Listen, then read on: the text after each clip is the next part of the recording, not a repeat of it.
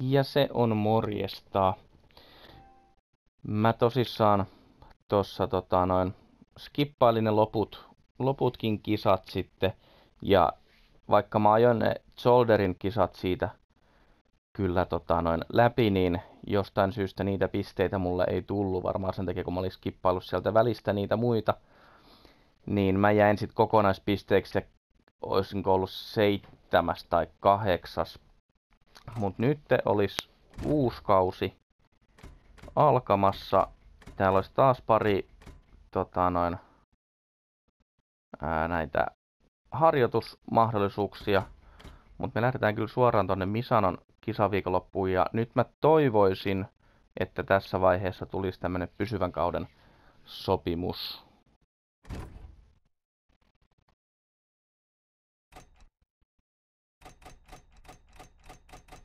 Ja täältä näköjään nähdään, että ekalla kaudella olisi, olisi tota noin,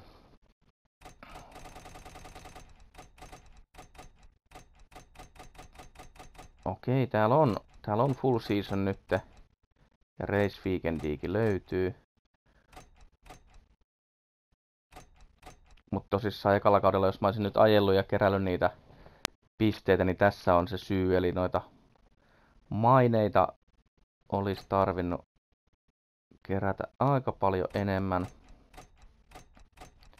jotta olisi päässyt näihin, näihin sit parempiin. Tää, tää vaatii sitten jo aikamoisen, aikamoisen tota noin, menon, mutta tota,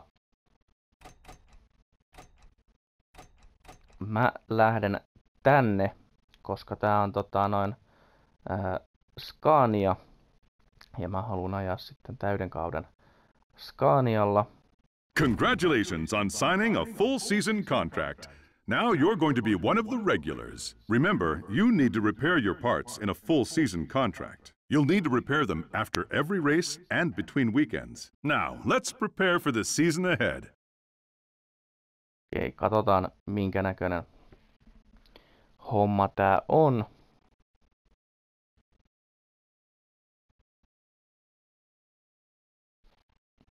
Nyt me tosissaan lähdettiin tämmöisen vähän niin kuin häntäpään talliin. Mä en nyt tiedä, onko tässä niin kuin auto jotenkin sitten tehottomampi ensin tai, tai jotain.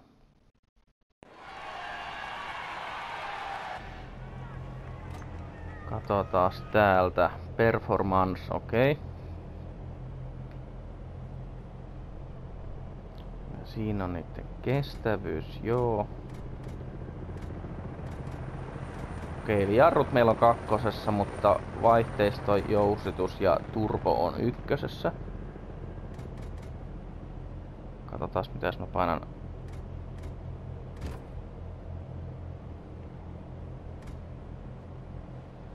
Okei, eli tää maksaa niin kuin 20 mitä?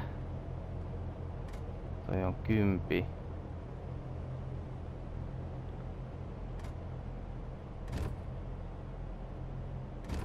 Jos kerran kisan voitosta saa jo kaksi tonnia.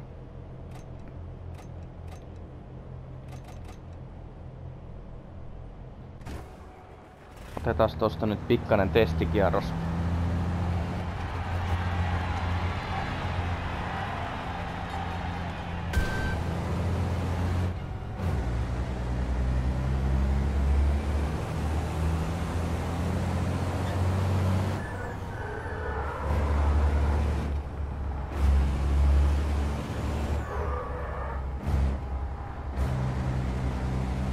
Oon tällä Scanialla ajanut tuossa Quick Raceissa yhden kisan ja siinä mä en huomannut mitään eroa niin kuin missään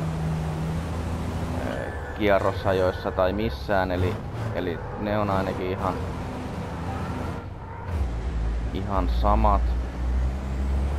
Niin katsotaan miten se menee tässä nyt, kun on, on tota, sit mukamas heikompi kalusto alla. Et ilmeisesti vaikka tällaisella kalustolla ajelisit siinä ekalla kaudella, niin se on, olisiko se sitten niin kuin maksimiviritteinen tavallaan, että voiko se tuntuu sen takia niin helpolta se,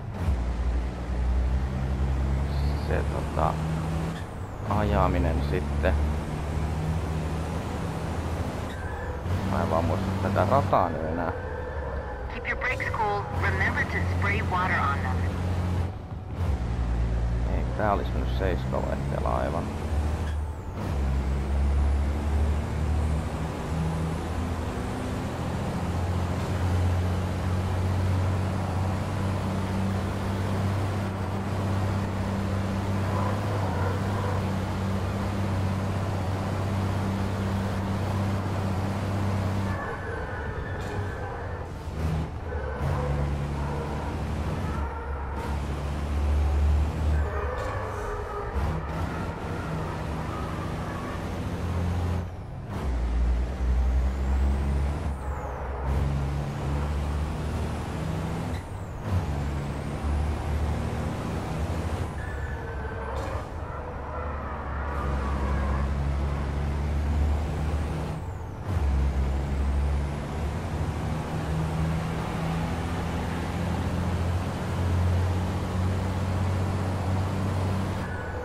Ajetaan tosta nyt toinen kierros vielä, että päästäisiin vähän, vähän tohon rytmiin.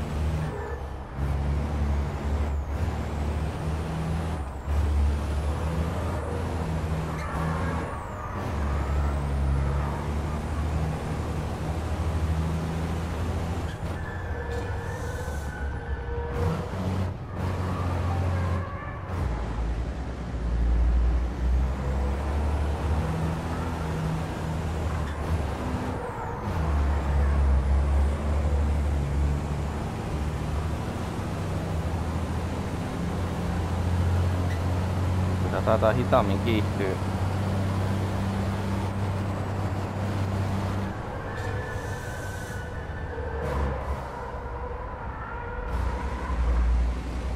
Tämänkin sai mentyä seiskavaihteella.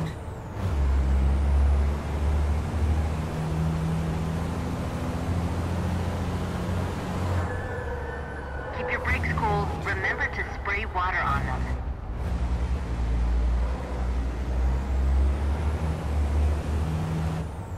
Voinko mä muistaa niin väärin, että mä oon ajanut tän jonnekin 2010 2010 kieppeille jossain kisassa. Vai meninkö jopa alle? 20 joka tapauksessa.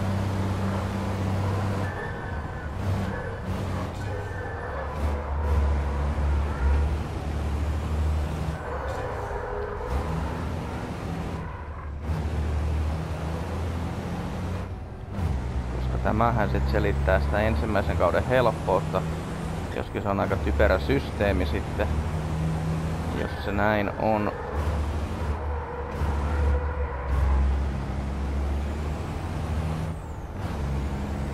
Tää oli nyt aika lailla onnistunut kierros kyllä. Ja mä menin sinne 20, eli ei tässä ole kyllä mitään eroa sitten.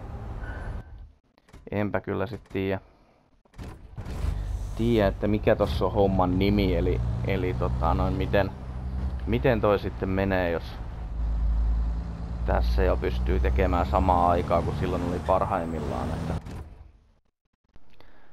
Mutta mä en nyt lähde tässä mitään kisaa ajamaan, mä vaan halusin näyttää, että täällä on mahdollisuus saada koko kauden sopimus. Päästiin vähän Scanian rattiinkin.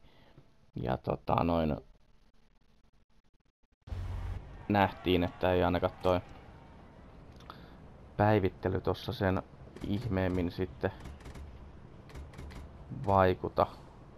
Se olisi ihan jännä nähdä, että miten, miten noin vaikuttaa sitten toi osien kuluvuus kaiken näköiseen niin toimivuuteen, mutta ja tän vähän vaikuttaa siltä, että aina neljäpykäläinen tää, koska jos jarrut on kakkosessa nyt puolivälissä, niin, niin tota noin. Mut me nähdään, kun päästään tätä Misanoa tosta sitten aloittamaan uutta kautta, varmaan sitten seuraavalla videolla kun tulee, niin ei mitään, se on morjesta.